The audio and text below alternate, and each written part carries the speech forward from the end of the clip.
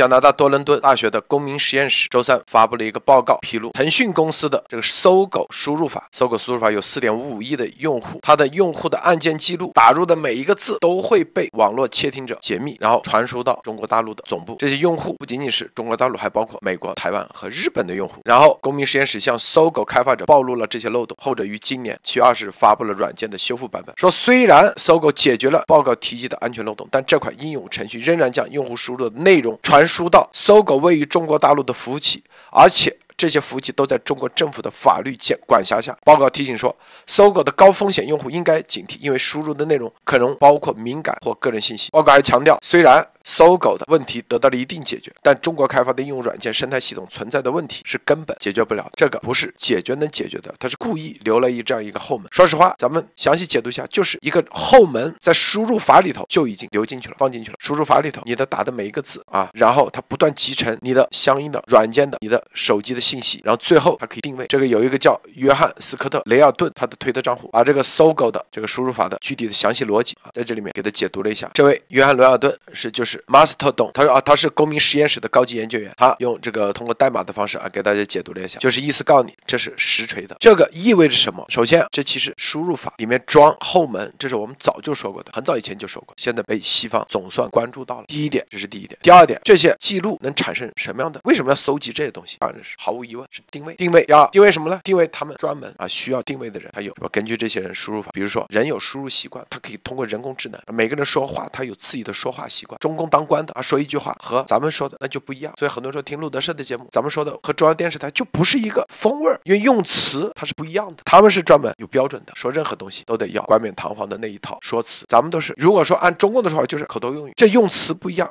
这就是通过人工智能可以慢慢的分析出来、学习出来，然后来定位哪些人是谁，谁是谁，然后从从而定位这些人在哪里，这是第一点。第二点，很多没有被定位的人都不需要定位的人，他根据你的输入习惯，他可以立即给你做认知上的推荐，比如。说 YouTube，我跟你说，我们早就做节目说过，如果你在某一天打电话跟别人说说一件事，说要去哪吃饭，你可能会很神奇的发现，你的手机 YouTube 或者别的会推荐你很多视频，说什么美食，他就给你推荐出来了。所以这种如果在国内的话，那就是啊，我我已经测试过很多次，很多人都有这样同样的感觉，语音变成了文字，文字然后反向的他给你推荐一些视频，这里头都是有关联的，甚至啊你的地图，反正相关联，甚至你的网页，谷歌一搜索，第一时间哎弹出一个推荐一些这样的新闻或者这样的一些什么视。频在国内也是一样的啊，在中国大陆更加，这就是啊，这就分析你的用户习惯来进行推荐。这在美国那都是成熟的技术，那在中共国那毫无疑问更加。这是第二点，那种都是说白了，这种都是商业用途。那中共可以把这个商业用途变成一种认知干涉、信息信息的压制，海量的信息改变你的认知。这就为啥绝对不会推荐路德社的节目，一定会推荐，因为很多对反共它是有一定的说白，这个市场它是有一定的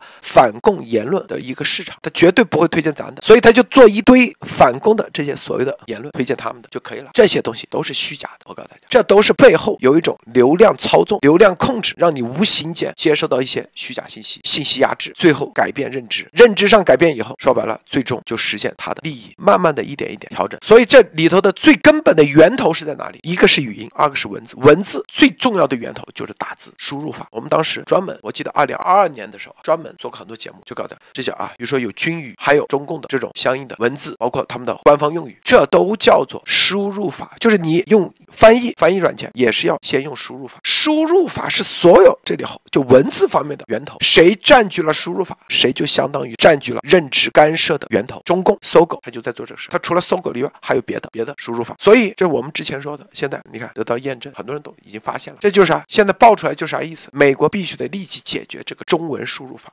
如果不能解决中文输入法，中共的认知干涉的源源头问题，中国人。十几亿人，哪怕跑到海外，你只解决微信和 TikTok，你都解决不了根本问题。你得要解决输入法的问题，输入法解决了，才能解决接接下来后面一系列的。因为这输入法还会带来啥？人工智能。人工智能是最关键的，未来在文字上就是输入法影响，因为这讲学习嘛，人工智能的学习，这影响了民意，影响了真正的美国的自由世界的国家安全。中共早就开始布局，这就是为什么很多人就发现跑到海外，中共也可以对他们进行洗脑，就是。是来自于这。现在是核心是啥？就是谁作为一个个人或者企业，你根本对中共这个你是防不住的，防不胜防。唯一做的就是啥？就跟那个华尔街投资限制令一样，必须得一刀切，否则我跟你说，谁都防不住。现在只说的是腾讯输入法，腾讯的这个，它有很多，你也不知道它有没有派人渗透到谷歌的输入法或者微软的输入法里面，有没有安插他们的这些后后台的代码，谁也不知道。说实话，只能靠撞大运。所以它有没有影响英文的，你不知道，或者是比如说别的文的西班牙文的这种输入法，因为它这是一个军事行动，它是一个国家行动，全球布局。但是有一点我们可以肯定的，有一个蟑螂一定所有无处不在，就中共在搜狗这里可能是啊漏了，所以被我抓到了。但是这件事情，我相信一定要美国，特别是相关的，一定要一刀切，这个危害相当大，这是对美国国家安全最直接的危害。如果不能把输入法这个问题彻底解决，不能彻底根除下载输入法这个事情，我告诉你，那你的认知、认知战、认知干预，百分之百在华人世界里你是打不打不过中共的。中共只要控制了这个输入法的源头，任何事情它都可以控制，因为现在输入法它是所后台，它现在都讲云服务、云端服务，说白了，它很多东西它可以在服务服务器里调用。表面上输入法是一个很简单的一个小应用程序，占用不了多少空间。但是由于五 G 甚至未来六 G，它实际上它可以做到在服务器端调用。说白了，它不占你的空间，但是你的很多东西都会啊给它给传回去。举个例子，比如说你就打两个字，比如说打研究，你只要一点，你就选择那个研究。但它如果在研究那里头给你设置了一个链接，这个链接就自动的把你的地址给回传。很简单，它只要在服务器端给你做了这样一段一串代码进去，就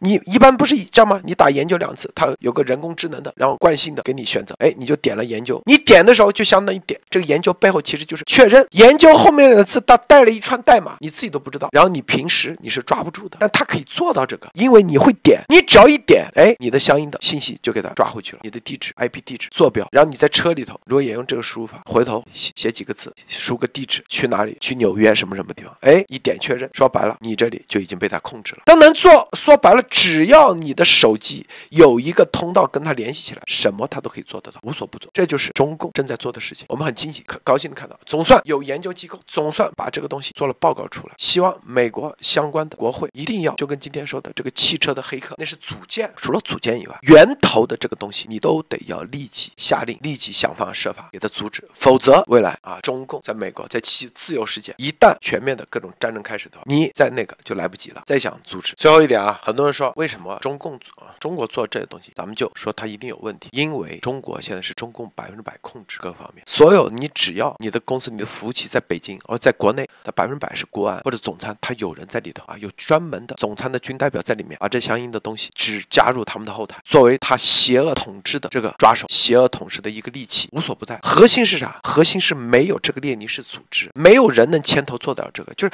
很多事情你想做，但是没有这个列宁式组织的时候，你就做不了，做不了。恶恶无处不在，但是恶能不能做到这么大影响力？几个亿用户，这必须得有一个强大的列宁式组织，就像一把刀一样，也可以杀人，也可以砍切菜，也可以救人。中共永远是把这些全部来作恶，除了作恶以外，它还是可一个庞大的列宁式组织，所以这种危害性是很大很大的。